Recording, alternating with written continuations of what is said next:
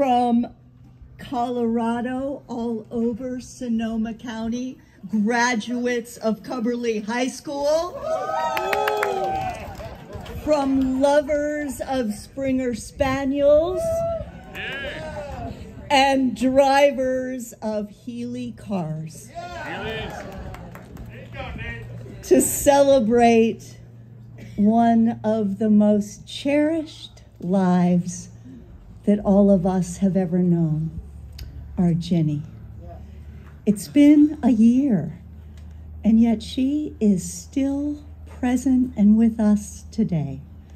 And it is a joy and honor to have you all gathered to honor Chrissy and Kathy and Jim's special mom. Could I invite you to pray? God, there are times in our living when we need your presence more than others. And this is one of those times.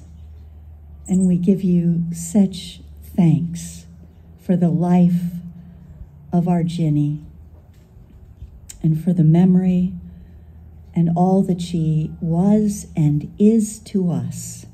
For this gathering, help us to find every moment of joy as we reconnect and remember and celebrate all her life. We ask this in Jesus' name, who is present with us and with our Jenny. Amen.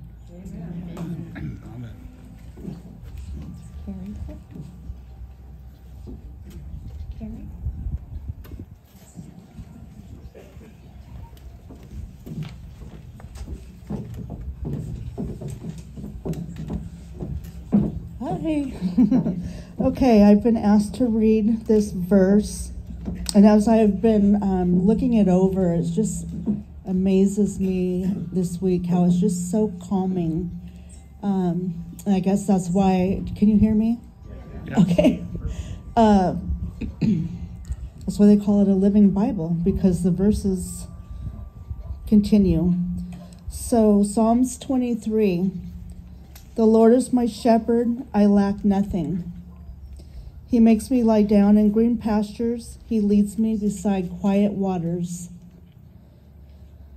He refreshes my soul, He guides me along the right paths for His name's sake.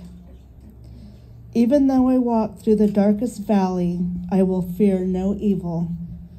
You are with me, your rod and your staff, they comfort me. You prepare a table for me in the presence of my enemies. You anoint my head with oil. My cup overflows. Surely your goodness and love will follow me for all the days of my life.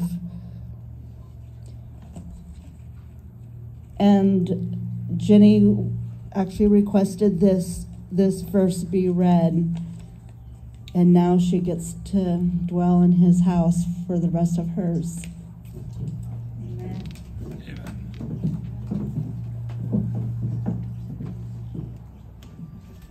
Psalm 100 Make a joyful noise unto the Lord, all ye lands. Serve the Lord with gladness. Come before his presence with singing. Know ye that the Lord, he is God. It is he that hath made us, and not we ourselves. We are his people, and the sheep of his pasture. Enter into his gates with thanksgiving, and into his courts with praise. Be thankful unto him, and bless his name. For the Lord is good, his mercy is everlasting, and his truth endureth to all generations.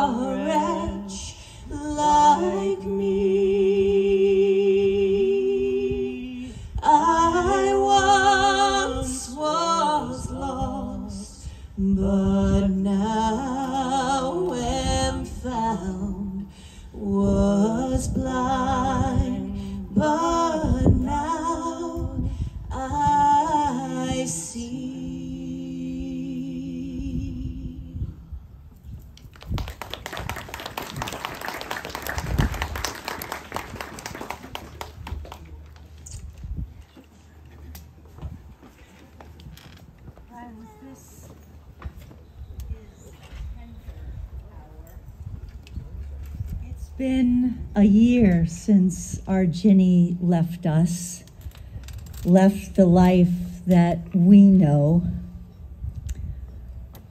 and someday we will all know. As always, Ginny is ahead of us. And here we are, those that she loved and cherished, with us here or on Zoom like Aunt Barbara to celebrate such a remarkable life. Ginny was a woman of great love. She loved animals. Her champion Springer Spaniels, her llamas, her cats. She had a menagerie, a raccoon, guinea pigs, and a lop ear bunny. I'm surprised that she never had a penguin to make Chrissy happy. and she loved children. Her Jim and her Kathy and her Chrissy. And even if we weren't flesh and blood, she encircled all of us with her love. How many of us have known her wisdom and her motherly love and care for us? I thought a lot about that in the last couple of weeks. Being a child, And I wondered what it's like for a baby, not yet born, who's still within her mother's womb. And I'm sure if we had the technology to ask that child, still yet unborn, if she wanted to leave that place of warmth and safe and security, that child would say no. And even if we were able to let her know that so much beauty and joy awaits her, so many loving hands, so many family members waiting to love and greet her, I'm sure that a child yet unborn would fear life after birth. And I wonder if we all have the same fear in understanding life after death. We hold so tightly to the security and love of this life and have fear, don't we, of life after death, not realizing that so much joy and beauty awaits us, so many loving hands, so many family members waiting to love and greet us in life after death. Ginny knew what awaited her. And so today, our job is to remember and celebrate the extraordinary life of such an amazing woman. From her childhood in Forest Hills outside Pittsburgh, Ginny brought joy to so many. And I think that there's often a misconception in our lives that in order to be happy, everything has to be perfect. Everything has to be easy and wonderful. And then, and only then, can we relax and be happy. All those ifs, if we have enough financial resources, if we have the home we always dreamed of, if we have the car, if all those ifs will make us happy.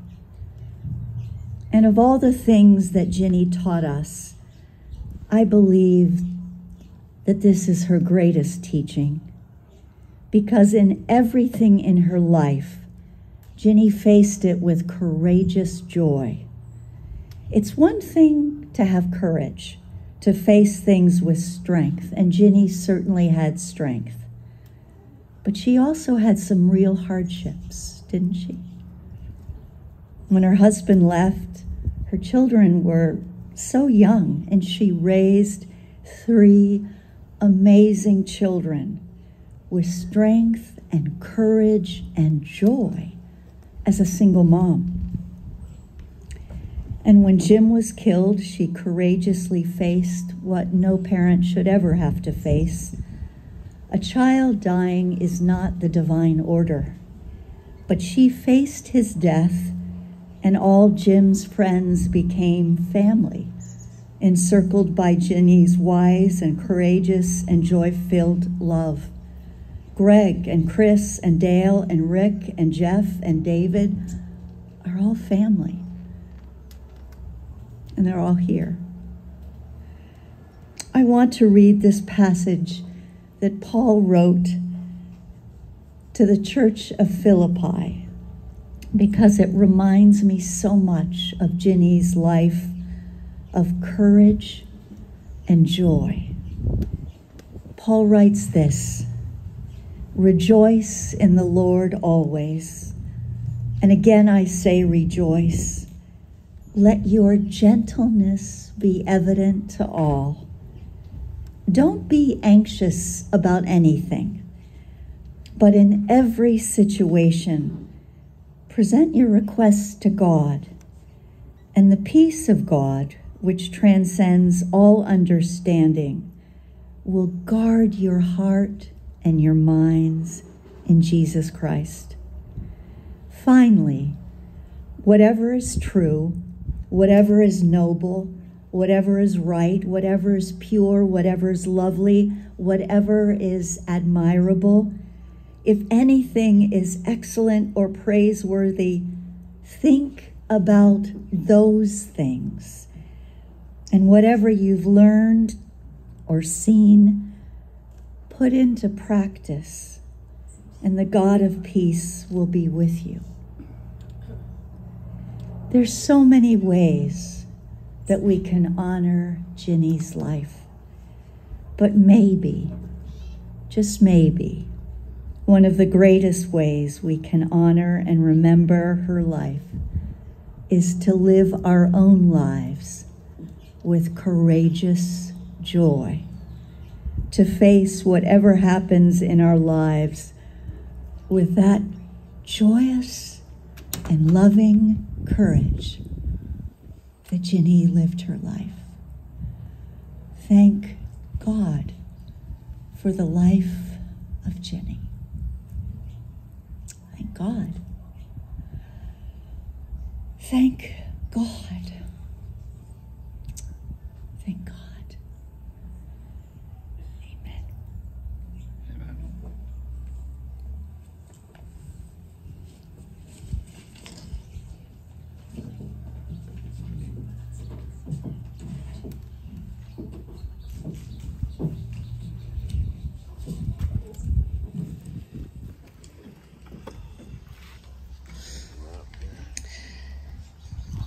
I'm Chrissy, for those of you who might not know me. uh, tried to get away with that one. Anyways, I'm going to read uh, Mom's youngest child, the baby. I want to start out by thanking everyone for being here to celebrate Mom's life well lived. Her presence is here today, and her son just came. The sun just came out, so it's proof of that. And I want to especially thank our neighbors, Dawn and Deb, for sharing their beautiful place with us all, and everyone else who helped make this happen and came together to honor Mom. She would protest every time I wanted to throw a party for her, but then she'd love it. And I know she'd be very happy today. And she made sure that we had beautiful weather and it's not too hot. Um, I'm so grateful to have my older sister Kathy and her son Vin, my nephew. I always say my nephew, uh, that uh, came all the way from Perth, Australia, to share in this celebration. We are blessed to have Jennifer and David here with us, and many of you will remember hearing Jennifer's beautiful voice at my wedding. As everyone can imagine, this is difficult to articulate in the right words, enough to honor the life of Ginny Klein, but I will try. I will be putting together a Ginny book written by all of us. You guys are going to be the writers. And please take the time to write down a memory of Ginny, how you met, a funny story, the impact she made on your life, a poem, a song, anything, just email to me. I will be sharing her book once I get it completed, and that'll make it available for sale on Amazon.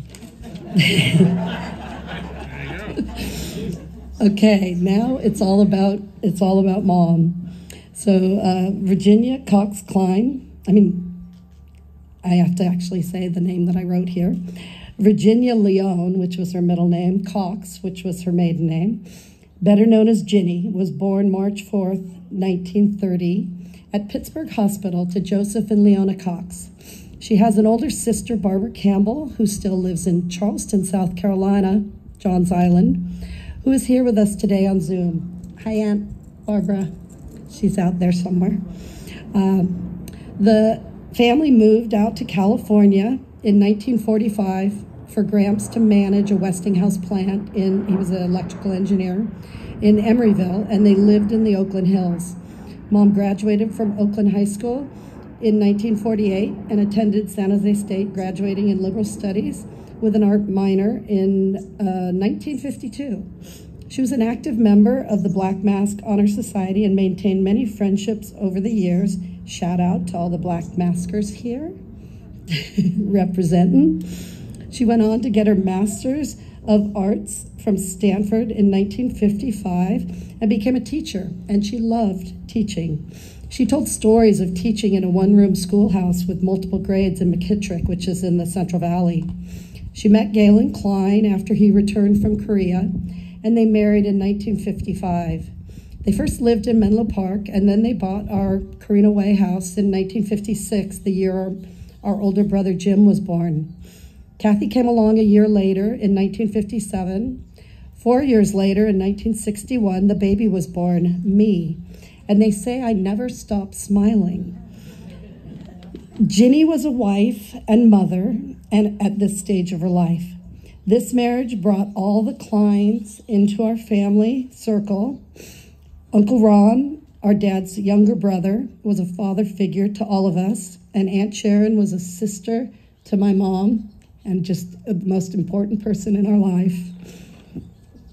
She was an artist from a young age and loved to paint throughout, and we, we have a lot of her artwork, so um, that's something you leave behind. Throughout her life, she created beauty with her art, including painting, pottery, photography, baskets, needlepoint, and anything else she put her hands on. For me, she started out as mom. Our dad left us when I was three, so to me, mom was both mom and dad. It was always yes or no. There was no gray. You didn't have anyone else to go to. I stayed at my grandparents' house in Los Altos during the week because my mom worked full time to raise three children. She was blessed to have her parents close by, maintaining a very good relationship with her dad until his passing in 1974. She worked hard to keep us in Palo Alto and always told us how good the schools were. We were very thankful for that and all of our lifelong friends, many of them here today. While in her early 30s and newly single, she enjoyed time with her best friend, Andy Kelly, who she is now enjoying a glass of wine with. Oh, who am I kidding? It's the whole bottle. they, they brought Pat Flack into our lives as our babysitter and basically older brother as she continued to expand her role as a working mom, mentor, and friend to all. Many people here have experienced that acceptance and how she made a difference in our lives. My childhood was full of constant learning, arts, crafts, animals, camping, water skiing, how to care and show love to others. Mom set an example for all of this. She was a born teacher, helping us to figure things out while accepting responsibility. She wasn't the typical perfect mom, but she was perfect for us. Everything changed in 1974. Jim was killed in a car accident driving to work with Greg Oswald. Being only 13 at the time and dealing with the loss of our older brother, I was witness to mom's inner strength and her belief in God that he was holding her. Jim's friends gathered, gathered around her and held her tight and continued to be her support system with everlasting love. His loss is forever present in all of our lives, and now mom is with him. Um, our house in Palo Alto was always a gathering place for all of our friends. Mom made sure our house was welcoming and safe. She was a second mom to everyone. I joked that whenever I was going to go on a date, the guy would come in to get me and would sit down and start talking with mom, and we would never leave. That is very true all the time. I continued the famous Klein parties, following in my brother's footsteps, and mom was right there dancing and having a blast with all of us. Freedom parties. Uh, it was expected for us to go to college. Mom would tell us about her father that worked their farm until his oldest brother came back so he could go to college. And then he went on to MIT. And uh, she would just repeat his words that a college education now was like a high school education back in his day. She encouraged me to go to college at San Diego State and paid for my first year of the dorms and tuition, making it possible, even though she couldn't afford it. She supported me when I hated Southern California and transferred to Chico. She loved it up there. Marilyn? Oh, and, and Luke, Micah, and, and John back there. Um, she loved it up there and visited me often. I have fond memories of swimming in Upper Park and drinking wine at the top of the buttes overlooking the valley. After graduating, I moved back home multiple times and always had to pay rent. She was an amazing, mom was amazing to be able to transition from mom to friend. This happened slowly and smoothly, so it was transparent. I eventually moved up to Santa Rosa to be close to Shannon and family in 2000. Grace, thank you. Uh, Mom was always up here and decided to put her Palo Alto house on the market and finally leave the Bay Area. She moved in with me for a year, living in my living room, and then found her treetop house on Champs Elysees. Annie, wherever you are out there, we blessings. Thank you for our life. Um, in 2011, she had to have open heart surgery and couldn't live in her house with the stairs. So we house hunted and looked at many, many, many houses with Annie and found our dream compound on Henry, which is right next door. So you'll see the llamas if you go over that way. Um, my agility trainer, Lori, who I think I saw in the audience here, told us that the best 10 years of her life was when her mom moved in with her. This was so true with mom and me. In 2011, I turned 50, started a new job, and we bought the Klein compound on 11 11 11. Um, Jim left us the gift of his Healey, which is here today, and we have a couple others that my mechanics right behind David, and then our my very very good friend right behind it, Peter Roberts from Australia. So we wanted to represent our Healey. Um, so. Uh, anyways, mom rebuilt it with the help of Jim's friends and kept it on the road with the help of David Knock and our Healey family. We have had many Healey road trip memories, winning autocrosses, poker rallies, and even the breakdowns, many of them. Uh, I was the driver and mom was the navigator. We traveled well together with many adventures from backpacking in the high camps of Yosemite uh, and traveling around Australia and New Zealand and driving cross country to agility competitions and then our dream expedition to Antarctica. As many people know, our lives changed when I got my first Springer Spaniel, Charlotte, in Chico in 1983. She was the start of our Springer obsession. Mom got Chester in 1988 when Shay came along, and we and I had already had Chelsea. Mom said that we couldn't have dogs without training them in obedience, so we started going to training every week in class, and it turned into a shared passion. Chester lived until he was 17, and uh, our vet is here, so thank you very much. Uh, and uh, Chester lived until he was 17, and after he passed, she got her dream show dog, Cher. Thank you, Pat Welsh, if you're on Zoom.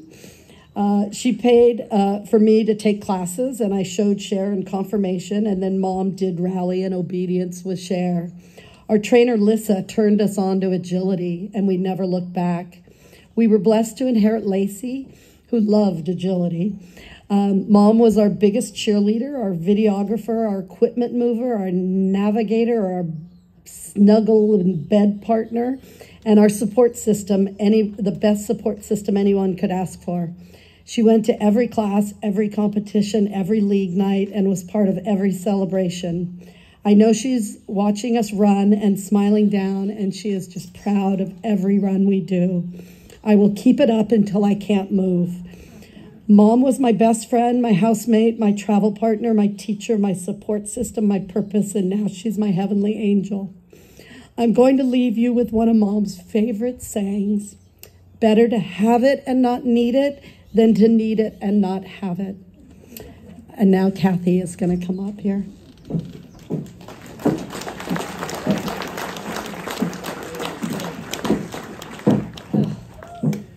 Oh, I need a fairy wand after that. Okay, I have to say who I am too. I'm Kathy Klein, for those who don't know me. I'm going to read as well, and I only sort of finished this this morning. It's like my academic career, studying all night and last minute. Thank you all for traveling and uh, sharing and help, helping to create this celebration of Mom's life.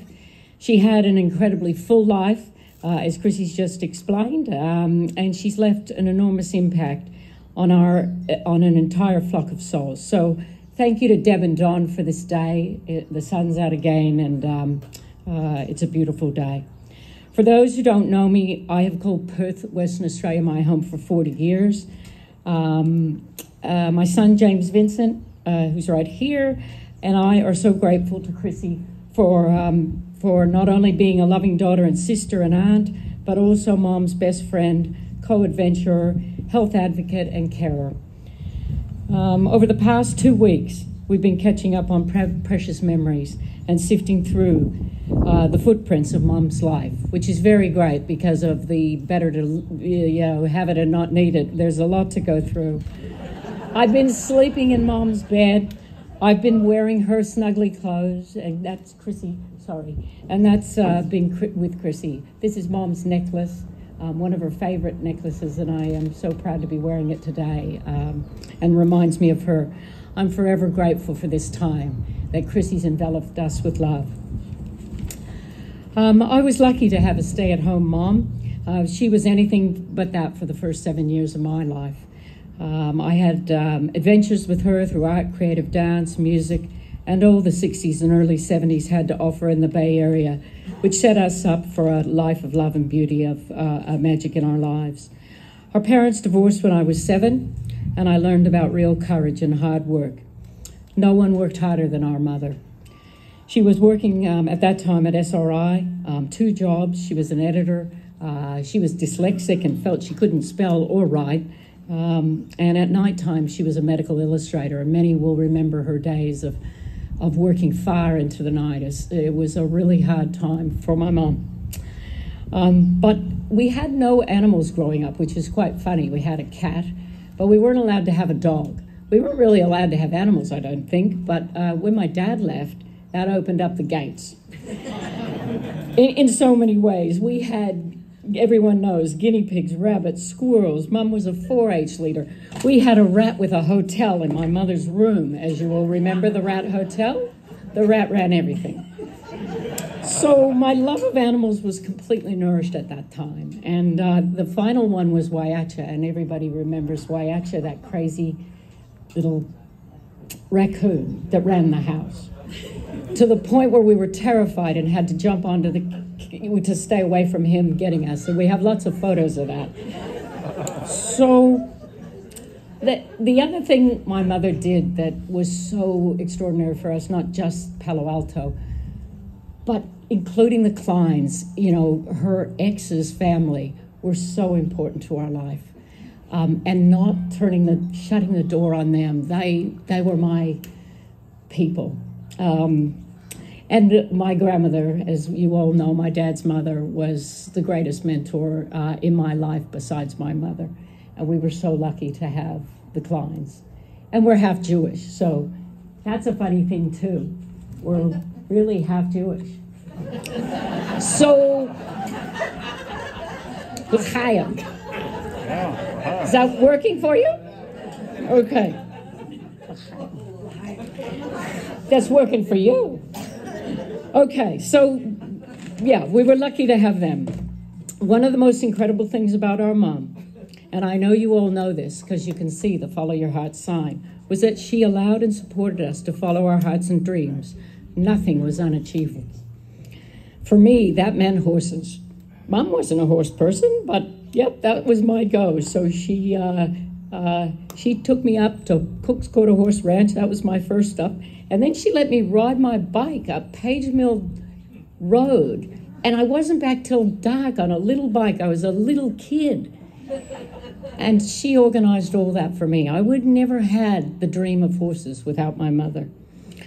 She was also um, she was also uh, a, a, skier. You know, she started us water skiing and snow skiing. I, I, couldn't even walk when I started to water ski. I couldn't even stand up.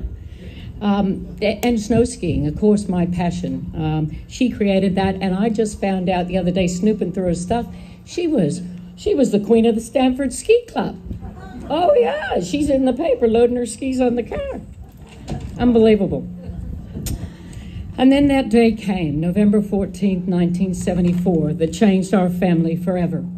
I was called at Cubberley in my senior year and taken to the hospital in Fremont. Greg was awake and he looked at me and told me everything was going to be okay. And it was the moment of an unending grief that started for all of us. But the next few years for me were a bl- complete blur. I, I, I was already half out of the nest, but graduated six months early from Cubberley and headed to Heavenly Valley to teach skiing.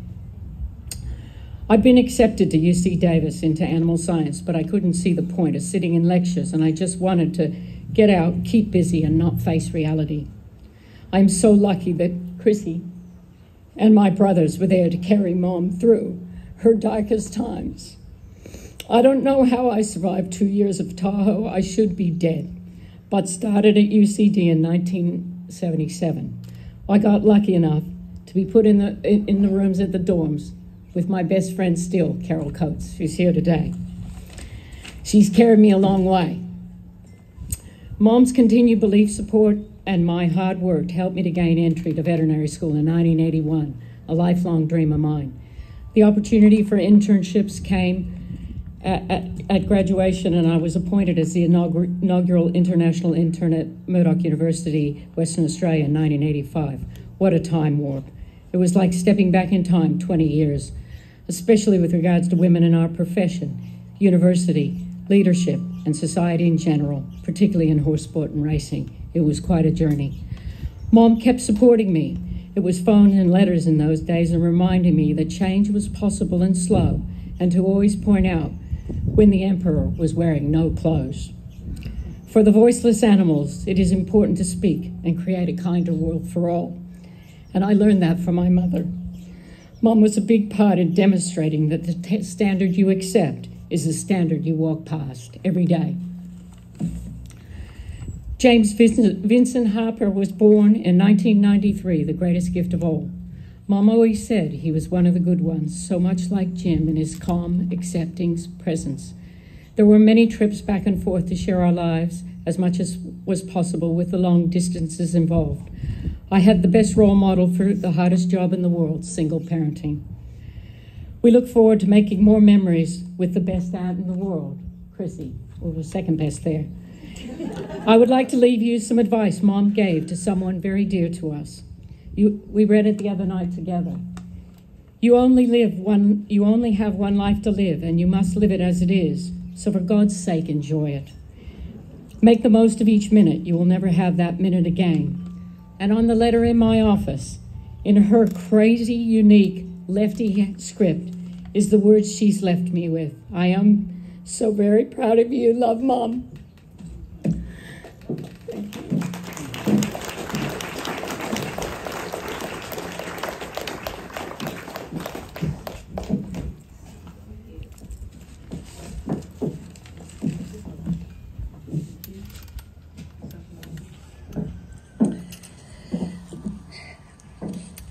So um, Greg Oswald was not able to be here tonight today, and uh, he is here on Zoom, sending our love.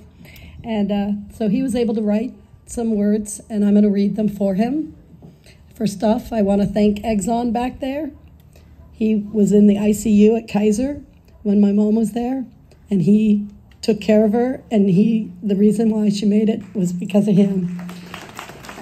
On on her 82nd birthday, he got her up to dance, and he danced with her. And that was three days after her surgery. So thank you, Exxon, for being here.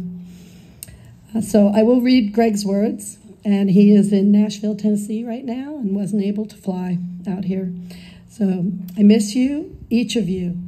I hope you feel my strong vibes in this time and always. And I kind of have to put my southern accent on because he does have a southern accent now. Um, Ginnie Klein had three beautiful children James, Kathy, and Chrissy. Funny thing is, three just didn't seem enough to be enough for her. She adopted a hundred more and a raccoon to boot. She treated us like we were her own. Good or bad, she didn't judge. She just accepted and did some coaching along the way. Sometimes even tough love coaching. For some of us, it quite literally probably saved some lives. For all of us, it enriched our life, ultimately leading to a better chance for us to follow our hearts and reach dreams. If you look at who you are now in our adult lives, I believe it is a direct byproduct of where you were and who you were with as you grew up. Ginnie's impact into our lives is indescribable in every way. Where did it come from? Her powerful influence. She let you find your way, but she was in charge the whole time. She always expressed her feelings and thoughts. There were no limits with her. She supported and encouraged. Her unending belief in others and the power that came from her that went to and through so many people. Forever thankful. It goes without saying, after all her good on earth, she finally got to be together again with Brother James after a long but graceful wait. I'm thankful for that. They're Healey writing right now, somewhere up in the clouds. Love, Geo. I want to ask um, Jim's brothers and sisters and to come up here and say some words, please. Um, so, Dale, don't just sit there. Come on, Drew, Namo. Where's Nene? Nene, get up here. Did I miss anyone? Come on, Trooper. Come on up. Hey, Mark. Come on up. Bobby. Bros, come on. Bobby. up. Where you belong. Ga- Gabby. Bones, what are you doing? Gabby? Brady. Where's Brady? You're, okay. You don't really have to talk. I just want to bring. These are my brothers and s- are are our brothers and sisters. Judy, Juders. There's a lot more that aren't here. No, these are our brothers and sisters. They're not no one. Well, I don't know. Calling anybody else who went to Cubberley that was. okay, so represent. I'll talk. You guys can talk if you want or support me in all. For me, it's going to be emotional today. And shout out to Yodi. All y'all, thanks for coming. So the emotions, we all have them. You know, keep them in check. They run deep. They're going to run deep and just embrace them today because they're going to turn into memories. And, and for me, my memories, and for you, I bet have helped shape your lives and who you are up to this point and who you will be. Because when that little voice, and we all have them in our head, goes off, and those memories of Jenny, I, there was not enough time for me to tell everything and all those memories, but they're all good. They're, they're all good. You know. I, I got to meet this family. I was 10 years old. It was 1965. And I go, damn. I got two new sisters and a, a brother, a, a big brother and Pat. And it was just, we were in Jim. So, Why aren't you up here? You thought you could get away Just sitting there. I mean. You thought you could get away. James and I and, and Greg were in third grade. And I came over to your guys' house, and it was like, wow. But but thinking back, Jenny was such a hard working, beautiful woman. And we don't give our women in society that praise that they deserve. She was. And she raised her little family through the years. She raised a great family, you know.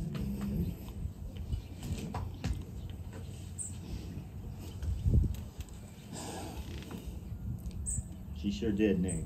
And I see her so much in you too. I see her so much in you guys. You get, You're good. I see her so much in both of you, and her her strength, You're gonna make me. her strength, her. I mean, she was a single working mom in the '60s. Kathy, you're a single working mother your whole career. I see the strength. I see her so much in you guys, you know? So embrace em, embrace those emotions and cherish those memories. Thank you.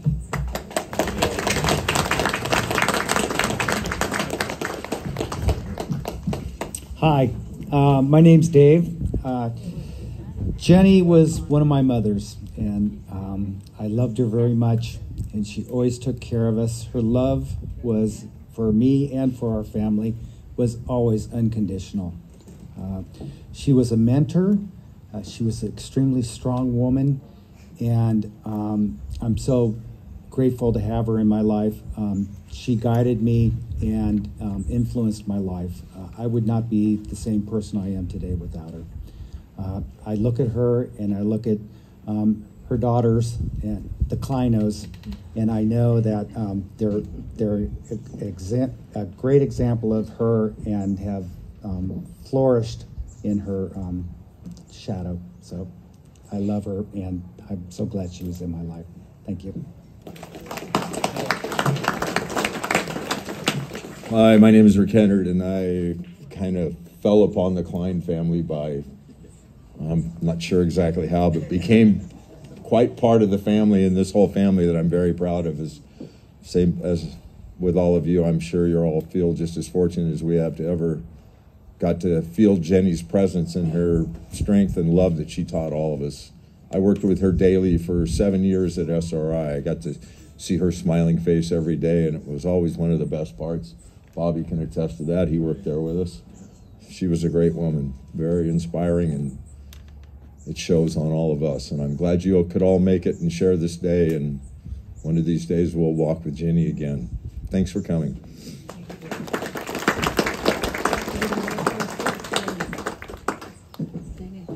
I knew Jenny Klein to just to be a profoundly decent human being. That every time that I came across her, and her care for you know we grew up in, in Palo Alto in the 60s and 70s and and a lot going on you know politically and Berkeley USF Stanford you know we're kind of the triangle of a lot of politics and a lot of interesting stuff. And she was kind of a rock with the the kids in the neighborhood. And, and, and most of these guys here they're all they're sandbox buddies. You know we, we've known each other for over over 50 years up here.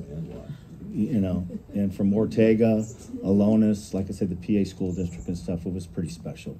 And your mother was, you know, like I say, just a just a profoundly decent woman, profoundly. We all loved her. Thank you.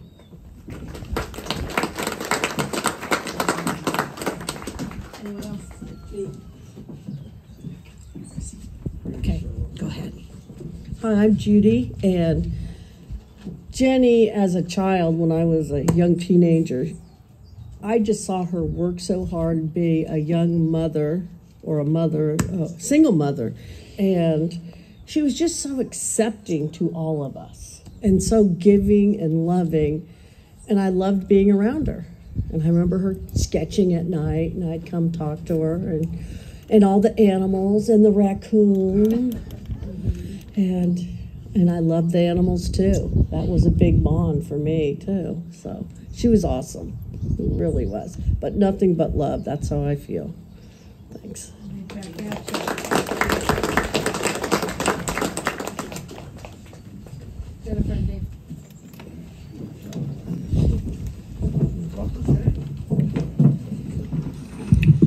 Yeah, my name's Jeff.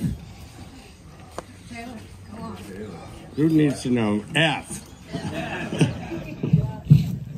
anyway, people are forgetting that after Jim died, we got a band together. I'm going to lose it, so bear with me. Anyway, uh, she let us, how? Because we stunk at first. Practice in her living room for months. She started drinking a lot more too. Anywho, oh, I forgot this too. We all, talked about the water ski days. Well, number one, Jimmy's buried out there in one of our sloughs. And there was a boat accident where uh, the boat got damaged, and she went out and bought us a new boat so we could keep skiing. And the family that got built around Jim passing and her, she was a den mother, I guess the best way to word it. Truly missed and will never really leave us. Love her. Rest in peace. Follow your heart, Jenny. Boom. I hate doing this. Sorry, you got it out this time. I'm proud of you.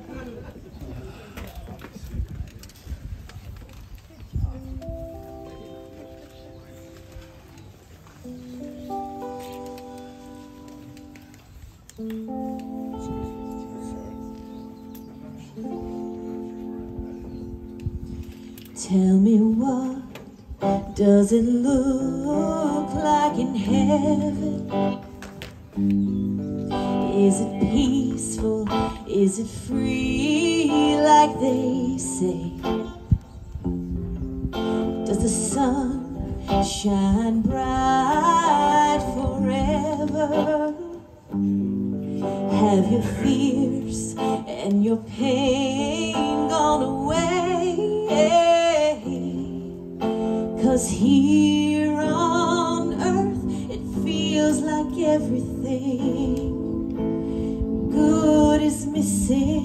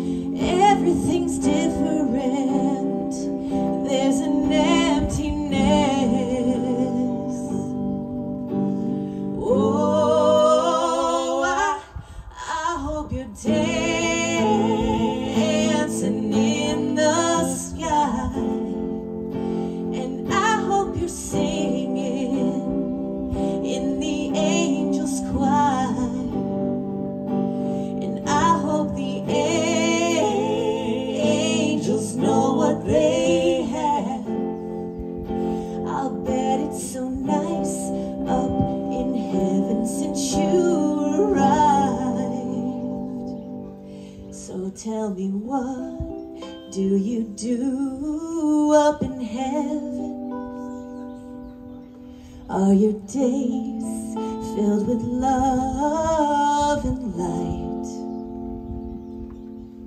Is there music? Is there art and adventure? Tell me, are you happy? Are you more alive? Cause here on earth it feels like everything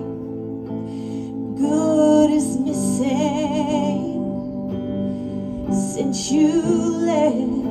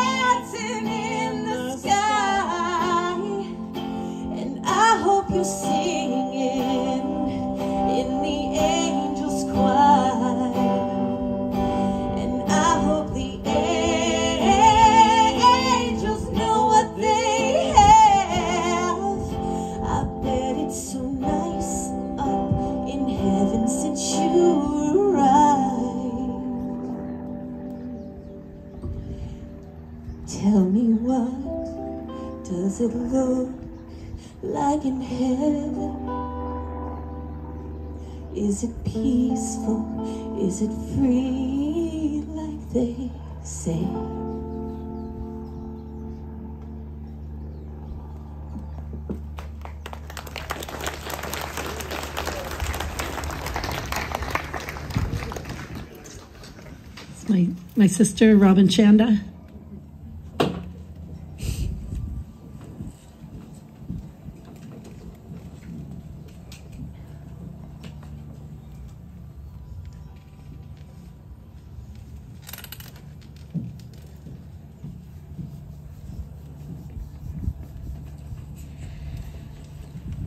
Hi, my name is Robin Shanda.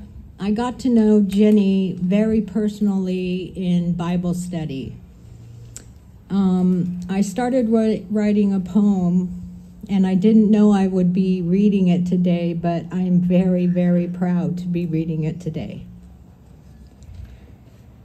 When tomorrow starts without me, and I'm not here to see, the sun will rise and find your eyes are filled with tears for me.